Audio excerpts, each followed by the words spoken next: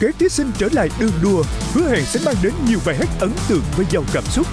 Vòng 2 bài hát hay nhất biết xôn biết điều chính thức bắt đầu. các nhà đầu tư nên suy nghĩ sớm còn nếu tôi mà đầu tư thì có khi là ít ai có thể có cơ hội để lấy lại đấy